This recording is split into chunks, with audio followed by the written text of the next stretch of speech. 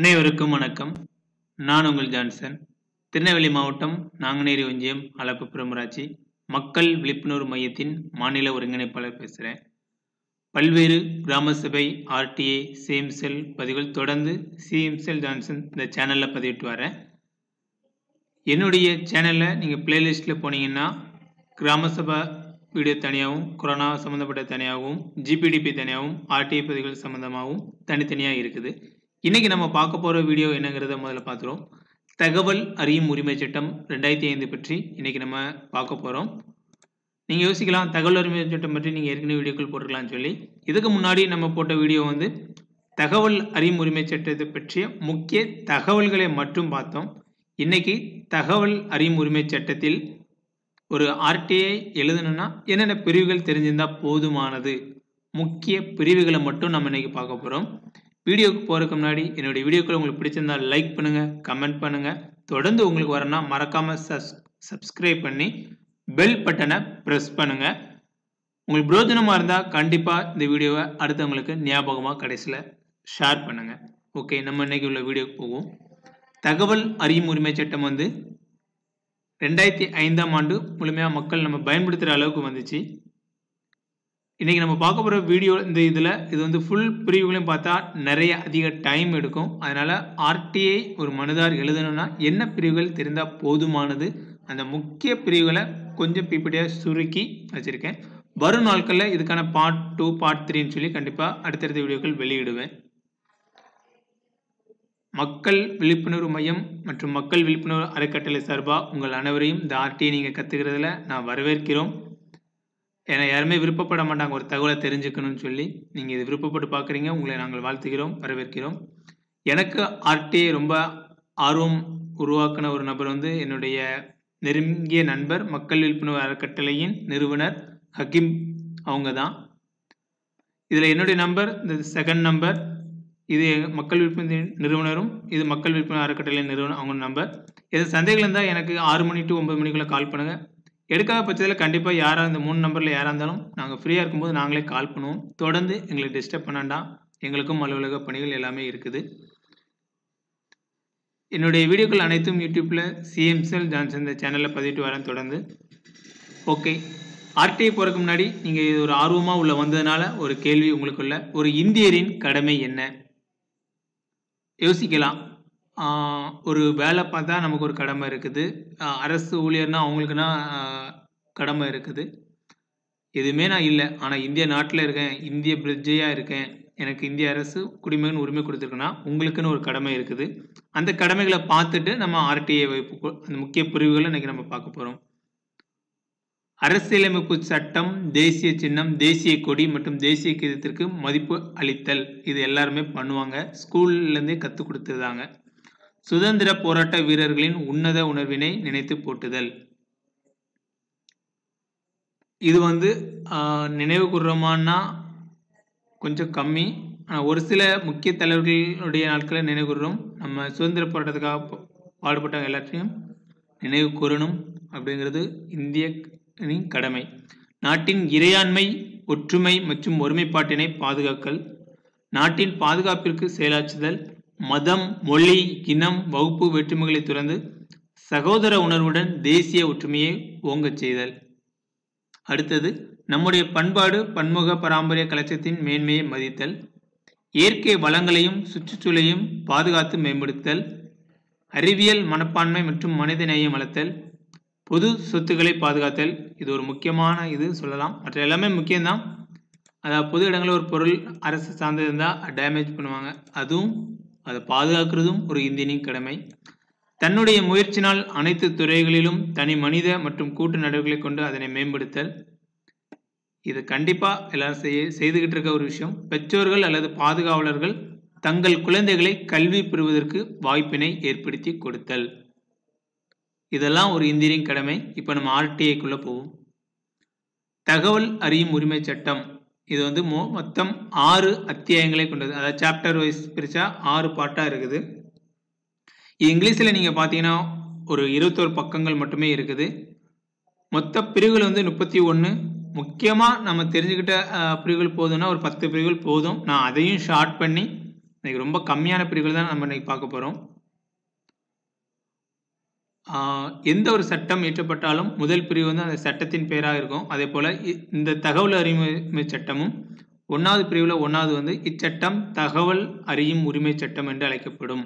அப்படின்னு சொல்லி ஏற்றிருக்காங்க இதில் உட்பிரிவுலாம் நிறைய இருக்குது. நிறைய இதை கட் பண்ணி எடுத்துட்டேன். முத முதல்ல லேர்ன் பண்ணுறவங்களுக்கு எல்லாத்தையும் பார்த்தா கன்ஃபியூஷன் ஆகும். அதனால் முக்கிய பிரிவுகளை மட்டும் கொண்டு வந்திருக்கேன்.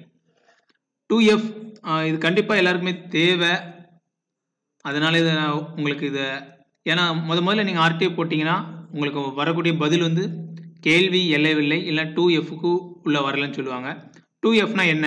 தகவல் என்பது எந்த ஒரு வடிவமைப்பில் உள்ள பொருட்பாட்களான மெட்டீரியல் பதிவுறுக்கள் ஆவணங்கள் டாக்குமெண்ட் குறிப்பானைகள் மின்னஞ்சல்கள் கருத்துருக்கள் அறிவுரைகள் செய்தி வெளியீடுகள் சுச்சரிக்கைகள் ஆணைகள் அஞ்சாட விவர குறிப்பீடுகள் லாக் புக் ஒப்பந்தங்கள் கான்ட்ராக்ட் அறிக்கைகள் ரிப்போர்ட்ஸ் தாள்கள் மாதிரிகள் சாம்பிள்ஸ் மெட்டீரியல் சாம்பிள்ஸ் மாதிரி படிவங்கள் எந்த ஒரு மின்னணு வடிவத்தில் உள்ள தகவல் தொகுப்புகள் டேட்டா எலக்ட்ரானிக் ஃபார்ம் அதாவது கம்ப்யூட்டர்கள் இருந்தால் கூட ஹார்ட் டிஸ்காக இருந்தால் கூட மற்றும் தற்போது நடைமுறையில் உள்ள வேறு எந்த ஒரு சட்டத்தின்படி மற்றும் பொது அதிகார அமைப்பின் மூலம் அணுகி பெறக்கூடிய எந்த ஒரு தனியார் அமைப்பின் தொடர்பு தொடர்புடைய தகவல் என்பதை குறிக்கும். இது எல்லாமே தகவல் தான். இதை நம்ம கேட்கலாம். இதை தாண்டி நீங்கள் கேட்டால் தான் டூ எஃப்குள்ளே வராதுன்னு சொல்லி நிராகரிக்கணும். ஆனால் இவங்க எல்லாமே டூ எஃப்குள்ளே இல்லை இல்லைன்னு சொல்லி நிராகரிப்பாங்க. அப்படி நீங்கள் ஒரு ஆர்டி அப்ளை பண்ணியிருந்தா மேல்முறையீடு தாராளமாக பண்ணுங்கள் ஓகே இந்த டூ பிரிவில் இன்னொரு முக்கியமான பிரிவு வந்து டூ ஜே இதுக்குன்னு சம்மந்தப்பட்ட இனி ஒரு தனியாக இதுக்குன்னே ஒரு வீடியோ போடுறேன். இப்போ ஜஸ்ட் ஒரு சின்ன இன்ட்ரோ மட்டும் கொடுத்துருவேன் ஒரு ஆஃபீஸில் இருக்கக்கூடிய டாக்குமெண்ட்டை நீங்கள் ஆய்வு பண்ணுறாந்தா டூ ஜியின் கீழே நீங்கள் அப்ளை பண்ணி ஆய்வு பண்ணிக்கலாம். அங்கே இருக்கக்கூடிய ஆவணங்கள் மெட்டீரியல்கள் என்னதுனாலும் ஆய்வு பண்ணிக்கலாம். இதை குறித்து விரிவாக பெற பார்ப்போம் இன்னொரு வீடியோவில் ஒரு ஆர்டி மனுனா எப்படி இருக்கணும் அப்படிங்கிறதுக்கு ஒரு மாடல் முதல்ல ஷோ பண்ணியிருந்தேன் உங்கள் அனுப்புனர் அட்ரஸ் பெறுநர் அட்ரஸ் அந்த சட்டத்தை குறிப்பிட்டு ஆயுனா டூ ஜேனா டூ ஜேன் கீழ் எனக்கு இதெல்லாம் பார்க்குறது தாங்கன்னு கேட்கணும். இல்லை ஆறு ஒன்றின் கீழ் எனக்கு இந்த தகவலெல்லாம் கொடுங்கன்னு சொல்லி கேட்கணும். இது வந்து டூ ஜென் கேல ஆவணங்களை பார்வையிடக்கு அனுமதி கேட்ட ஒரு மனு. அனுமதி கொடுப்பாங்களா? தாராளமாக கொடுப்பாங்க. டூ ஜென் கேல நீங்கள் கேட்டிங்கன்னா கண்டிப்பாக கொடுப்பாங்க. அலுவலக வேலை நாட்களில் கொடுப்பாங்க. முதல் ஒரு மணி நேரத்துக்கு கட்டணம் கிடையாது. அப்புறம் ஒவ்வொரு மணி நேரத்துக்கும் அஞ்சு ரூபா. ஒரு மணி நேரம் நீங்கள் ஃப்ரீயாக பார்க்கலாம். ஓகே இது குறித்து விரிவான ஒரு வீடியோ தெளிவாக பார்ப்போம். ஆய்வு பண்ணுறது நிறைய இடங்களில் ஆர்டி டூ ஜி மூலமாக ஆய்வு பண்ணியிருக்காங்க. நிறைய பேர் போயிருக்காங்க. ஆய்வு பண்ணி நிறைய ஆவணங்களை பார்த்துருக்காங்க. ஓகே இப்போ முக்கியமான ஒரு ஒரு பிரிவு. பிரிவு அஞ்சில் மூணு. ஒரு ஆர்டிஐ முத முதல்ல எழுதுகிறவங்களுக்கு ஏன்னா ஆர்டிஐ நீங்கள் எழுதுவீங்க. உங்களுக்கு பதில்கள் தர மாட்டாங்க கேட்டால் கேள்வி தப்பாக இருக்குது அப்படி இருக்குது இப்படி இருக்குமாங்க அப்படி சொல்கிறவங்ககிட்ட நீங்கள் நேரில் போய் கூட உட்காந்து அனைத்து பொது தகவல் அலுவலரும் தகவல் கோரும் நபரின் விண்ணப்பத்தினை பரிசீலனை செய்வதோடு தகவல் கோருவருக்கு உதவிட வேண்டும். உங்களுக்கு மனு எழுத தெரியலனா தாராளமாக அந்த ஆஃபீஸில் போய் பொது தகவல் அலுவலர் யாருன்னு கேட்டு அவங்கக்கிட்ட போய் நீங்கள் எனக்கு மனு இந்த தகவலாம் வேணும் மனு எழுதி கொடுங்கன்னு சொல்லி தாராளமாக கேட்கலாம். டேரெக்டாக அந்த ஆஃபீஸ் அவங்ககிட்ட போகாமல் அந்த ஆஃபீஸில் இருக்கக்கூடிய மேல் அதிகாரிகிட்ட ஒரு மனுவாக கொண்டு கொடுங்க. எனக்கு இந்த ஒரு மனுவாக மேல் அதிகாரிகிட்ட இந்தந்த ஆவணங்கள்லாம் வேணும் அதுக்கு எனக்கு ஹெல்ப் பண்ணுங்கன்னு சொல்லி ஒரு மனுவை கொடுத்தீங்கன்னா அவங்க இங்கே இருப்பாங்க அவங்கள போய் பாருங்கன்னு சொல்லி இவங்க கையில் சைன் வச்சு கொடுத்துருவாங்க. அதுக்கப்புறம் ஆட்டோமேட்டிக்காக உட்காந்து எழுதி உங்களுக்கான கேள்விகளை அவங்களே எழுதி அவங்களே அக்ஸ் உங்கள்கிட்ட சைன் மட்டும் வாங்கிட்டு அந்த மனுக்கான பதில்களை முப்பது நாளுக்குள்ளே உங்களுக்கு தருவாங்க. ஆர்டிஐ நீங்கள் ஒரு தகவல் கேட்கணும்னா எந்த பிரிவில் கேட்கணும்னா பிரிவு ஆறு ஒன்று மூணில் தான் கேட்கணும். பொது தகவல் அலுவலருக்கு தகவல் கோரி மனு செய்யணும்னா பிரிவு ஆறு ஒன்று தான். இதில் இந்த மூணு பிரிவும் முக்கியமானது. அதனால் ரெண்டாவது பிரிவும் சொல்கிறேன் ஒரு ஆர்டிஐ நீங்கள் ஃபைல் பண்ணுறீங்கன்னா உங்ககிட்ட ஏன் ஃபைல் பண்ணுறீங்கன்னு சொல்லி காரணம் கேட்கக்கூடாது. அப்படி கேட்டாங்கன்னா ஆறு ரெண்டின் படி நீங்கள் ஏன் கேட்கக்கூடாது என்கிட்ட கேட்காதீங்கன்னு நீங்கள் தாராளமாக சொல்லலாம். மூணு ஆறு மூணு ஒரு முக்கியமான அதுவும் ஒரு முக்கியமான பிரிவு. உங்களுக்கு எந்த ஆஃபீஸில் டாக்குமெண்ட் இருக்குன்னு தெரியலனா டைரெக்டாக பொது தகவல் அலுவலர் மற்றும் மாவட்ட ஆட்சியரின் நேர்முக உதவியாளர் மாவட்ட ஆட்சியர் அலுவலகம். அவங்களுக்கே நீங்கள் கே அனுப்பி விடலாம். அவங்க பிரிவு ஆறு மூணு படி சம்மந்தப்பட்ட ஆஃபீஸ்க்கு மாற்றி விட்ருவாங்க அடுத்து ஏழு. நீங்கள் ஒரு டாக்குமெண்ட் கேட்டிங்கன்னா அது முப்பது நாளுக்குள்ளே உங்களுக்கு தகவல் வழங்கணும். பிரிவு ஏழு ஒன்றின்படி படி. நிராகரிச்சாங்கன்னா பிரிவு எட்டு ஒம்பதில் தான் நிராகரிக்கணும். வேறு எந்த பிரிவு கொண்டும் நிராகரிக்கக்கூடாது முப்பது நாட்களுக்குள் உங்களுக்கு தகவல் தரலனாலே அது மறுக்கப்பட்டதாக தான் கருத ஏழு மூணுபடி தகவல் அளிக்க கூடுதல் கட்டணம் செலுத்த வேண்டுமெனில் அதனை உரிய முறையில் மனிதருக்கு தெரிவிக்க வேண்டும். அதாவது ஒரு ஒரு நீங்கள் கேள்வி நிறைய கேட்டிருப்பீங்க. அப்படியே அவங்க டைப் பண்ணி அப்படியே பதிலாக கூட அனுப்பிடுவாங்க. இல்லை உங்களுக்கு ஒரு ஐம்பது பக்கம் டாக்குமெண்ட் இருக்குது அதை பே பண்ணணும்னா அதுக்கு என்ன சார்ஜஸ் சொல்லி உங்களுக்கு லெட்டர் அனுப்பணும். நீங்கள் ஆய்வுக்கு போகிறீங்க உங்களுக்கு முடியலன்னா அவங்க ஹெல்ப் பண்ணணும் பிரிவு நாலு ஏழு நாலு நீங்கள் தகவல் அவங்க முன்கூட்டியே உங்களுக்கு கொடுத்துட்டாங்கன்னா நீங்கள் கட்டணம் செலுத்தி தான் வாங்க முடியும். பிரிவு ஏழு ஆறு ஒரு முக்கியமான பிரிவு. பிரிவு ஏழு ஒன்று எப்படி முப்பது நாளுக்குள்ள உங்களுக்கு தரலன் தரணும் தந்தா பிரச்சனை இல்லை. தராத பட்சத்தில் ஏழு ஆறின் நீங்கள் இலவசமாக அவங்ககிட்ட கேட்கலாம். முப்பது நாளுக்குள்ள தரலை பிரிவு ஏழு ஒன்றின்படி. அதனால் பிரிவு ஏழு ஆறின் படி எனக்கு இலவசமாக வழங்குங்கன்னு சொல்லி முதல் மேல்முறையீடு பண்ணலாம். இலவசமாக கொடுப்பாங்களா? தாராளமாக கொடுப்பாங்க. இந்த கடிதத்தில் பாருங்கள் உங்களுக்கு தெரியும்.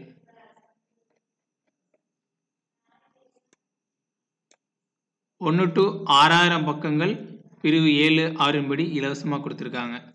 ஒரு பக்கம் இல்லை ரெண்டு பக்கம் இல்லை ஆறாயிரம் பக்கங்கள் இலவசமாக கொடுத்துருக்காங்க. புது தகவல் கொடுத்துட்டு ஒப்புதலும் வாங்கியிருக்காங்க. பிரிவு ஏழு ஆறு வந்து இலவசமாக வாங்குறதுக்கு பிரிவு. முப்பது நாட்கள் கடந்த பின்பு. அப்புறம் இதில் முக்கியமான ஒரு விஷயம் வந்து தகவல் எப்படி இருக்கோ அப்படியே வாங்கணும். அவங்க மாடிஃபை பண்ணி உங்களுக்கு கொடுக்கக்கூடாது. அப்படி எதுவும் உங்களுக்கு அந்த நிராகரிக்கிறாங்க ஏதாவது போ அப்படி வாய்ப்புகள் இருந்தால் என்ன காரணத்துக்கு நிராகரிக்கிறாங்க?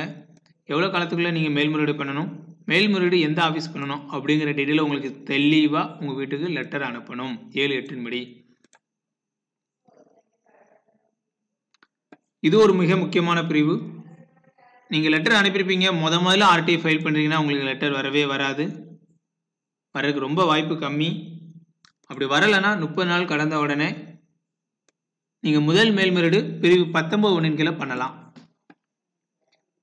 முதல் மேல்முறையீடு பண்ணியும் உங்களுக்கு லெட்டர் வரலைன்னா அடுத்த ஒரு நாற்பது நாள் கழித்து நாற்பத்தைந்து நாள் கழித்து பிரிவு இரண்டு சாரி பிரிவு மூணு பத்தொம்போது மூணின் படி தகவல் ஆணையத்துக்கு லெட்டர் அனுப்பலாம். அடுத்தது தகவல் ஆணையத்துக்கு நீங்கள் போவீங்க அவங்க உங்களுக்கு இந்த குறிப்பிட்ட காலத்துக்குள்ளே தராதனால அவங்களுக்கு ஃபைன் வாங்கி கொடுக்கலாம். இருபது ஒன்றின் படி அவங்களுக்கு ஃபைன் ஒரு பெர் டேக்கு டூ ஃபிஃப்டி ருபீஸ் வச்சு இருபத்தஞ்சாயிரம் ரூபாய் வரைக்கும் அதிகமாக ஃபைன் அடிக்கலாம். இருபது ரெண்டின் படி அவங்க மேலே ஒழுங்கு நடவடிக்கை எடுக்கிறதுக்கு நீங்கள் அவங்கக்கிட்ட வாதாடலாம். ஃபைன் அடிச்சிருக்காங்களான்னா நிறைய கேஸ்க்கு அடிச்சிருக்காங்க. அதுக்கான ஆதாரங்கள் நிறைய. தகவல் ஆணைய வெப்சைட்டில் நீங்கள் கேஸ் எடுத்து பார்த்தீங்கன்னா கண்டிப்பாக இருக்குது. இது ஒரு நியூஸ் கட்டிங் இது ஒரு ஃபைவ் தௌசண்ட் அபராதம் போட்டாங்க. அந்த கட்டிங் தான் இது. தமிழ்நாடு இந்த வீடியோ ஏற்கனவே நம்ம பார்த்துருக்கோம் இந்த வெப்சைட் பற்றி கவர்மெண்ட் ஆர்டிஐ டீட்டெயில் பார்க்குறாங்க நீங்கள் ஆர்டிஐ கவர்மெண்ட் ஆர்டின் இந்த வெப்சைட்டில் மத்திய அரசு சம்மந்தப்பட்ட விஷயங்கள் எல்லாமே பார்க்கலாம். ஆர்டிஐ சம்மந்தப்பட்டது தமிழ்நாடு ஆர்டிஐ பற்றி தகவல்களை இந்த வெப்சைட்டில் நீங்கள் பார்க்கலாம். மத்திய அரசு சம்மந்தப்பட்ட எந்த ஒரு தகவலாக இருந்தாலும் நீங்கள் ஆன்லைன்லேயே அப்ளை பண்ணலாம். இது குறித்து பின்வரும் நாட்களில் கண்டிப்பாக ஒரு வீடியோ பதிவிடுறேன். மாநில அரசுக்கு தபால் தான் நீங்கள் அனுப்பியாகணும். முதல் ஆறு ஒன்றில் அனுப்பும் போதும் பத்தொம்போது ஒன்றில் அனுப்பும் போதும் நீங்கள் தபால் அனுப்பணும். இரண்டாம் மேல்முறையீடு வேணால் ஆன்லைனில் பண்ணிக்கலாம்.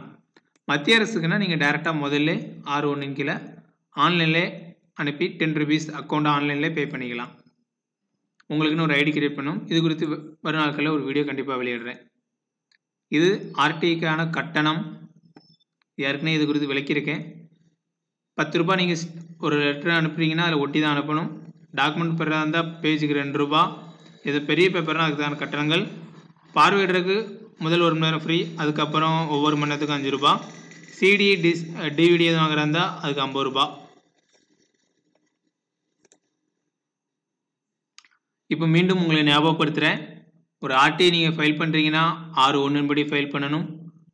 ஆய்வு பண்ணுறதா இருந்தால் டூ ஜேபடி பண்ணணும். நீங்கள் அப்ளை பண்ணி எந்த முப்பது நாளுக்குள்ள உங்களுக்கு வரலன்னா பத்தொம்போது ஒன்றின்படி மேல்முறையீடு முதல் மேல்முறையீடு பண்ணணும். அப்பவும் உங்களுக்கு கிடைக்கலன்னா ரெண்டாம் மேல்முறையீடு பத்தொம்போது மூணின் படி பண்ணணும். மனு எழுதும்போது கவனிக்க வேண்டியது என்னது? அனுப்புனர் அட்ரஸ் கண்டிப்பாக போடுங்க பெறுநர் அட்ரஸ் கண்டிப்பாக போடணும். கட்டணம் எப்படி செலுத்துறீங்கிறத அதில் தெளிவாக எழுதிடுங்க ஒரு மனு ஒரு தகவல் கேட்குறீங்கன்னா எந்த டேட் டு எந்த டேட் அதை தெளிவாக குறிப்பிட்டு கேளுங்க. முடிஞ்ச அளவு ஒரே ஆஃபீஸில் உள்ள டாக்குமெண்ட்டாக கேட்குற மாதிரி கேளுங்க. பல்வேறு ஆஃபீஸ்க்கு ஸ்ப்ளிட் பண்ணி அனுப்புகிற மாதிரி கேட்காதீங்க. குறைந்த தகவலை கேளுங்க. ஒரே மனுவில் நான் பத்து ரூபாயில் எல்லா தகவலும் கேட்கணும்னு நினைக்காதீங்க. கூடுதலாக மனு போட்டு அப்படி கேளுங்க. அது கண்டிப்பாக கிடைக்கிற வாய்ப்பு இருக்குது நிறைய ஓவர்லோட் அவங்களுக்கு பண்ணுறதுனாலையும் அவங்களுக்கு இடிடேட் அதாவது என்னடா அவன் கேட்டுக்கிட்டே இருக்கான் அப்படிங்கிற மாதிரி ஆயிடக்கூடாது. முக்கியமான தகவல்களை குறைந்த அளவு தகவலோடு ஒவ்வொரு மனுக்களும் கேளுங்க. நிறைய ஒரே இதில் நிறைய கேட்காதீங்க. குறைந்த அளவு தகவலை கேளுங்க. ஒரு மனுனா எப்படி இருக்கும் அப்படிங்கிறதுக்கு ஒரு மாடல் அனுப்புனர் அட்ரஸ் பெறுநர் அட்ரஸ் தகவல் பெறுதல் தொடர்பாக மட்டும் நீங்கள் மென்ஷன் பண்ணுறதா இருந்தால் பண்ணிடலாம். இந்திய குடிமகனான எனக்கு தகவல்களை வழங்கன்னு சொல்லி நீங்கள் போட்டுடலாம். இதை ஆய்வு பண்ணுறதுக்கு டூ ஜிஎம் படி போட்டிருக்கு. இது நான் நார்மலாக ஒரு தகவல் பெற மனு. கீழ்கண்ட தகவலை வழங்கிருக்கிறேன் ஒன்று எனக்கு இந்த மாவட்டத்தில் உள்ள இந்த ஆஃபீஸில் உள்ள இந்த தகவலை வழங்குங்க. இல்லை இது தொடர்பான தகவலை வழங்குங்க. மூணு ஒரு ஒரு மனுவில் ஒரே ஆஃபீஸ் சம்மந்தப்பட்ட தகவலை முடிந்த அளவுக்கு கேளுங்கள் என்னுடைய ஃபேஸ்புக் ட்விட்டர் இன்ஸ்டாகிராம் டெலகிராம் எல்லாமே சிஎம் செல் ஜான்சன் இந்த நேமில் இயக்கிட்டு வர்றேன். என்னுடைய தொடர்பு எண் இந்த இருக்குது. கால் பண்ணுறவங்க ஆஃபீஸ் டைம் தவிர்த்து ஆறு மணிலேருந்து ஒம்பது மணிக்குள்ளே கால் பண்ணுங்கள் நான் எடுக்கலைன்னா நான் ஃப்ரீயாக இருக்கும்போது நானும் எடுத்து ரிட்டர்ன் கால் பண்ணுவேன். திரும்ப திரும்ப கால் பண்ணி தொந்தரவு பண்ணாதீங்க. என்னுடைய வீடியோக்கள் பிடிச்சிருந்தால் லைக் பண்ணுங்கள் கமெண்ட் பண்ணுங்கள் மறக்காமல் சப்ஸ்கிரைப் பண்ணி பெல் பட்டனை ப்ரெஸ் பண்ணுங்கள் இவ்வளவு நேரம் பொறுமையாக இந்த வீடியோ பார்த்த உங்களுக்கு என்னுடைய மனமார்ந்த நன்றிகள். அடுத்த ஒரு நல்ல ஒரு பதிவில் சந்திக்கிறேன். நன்றி.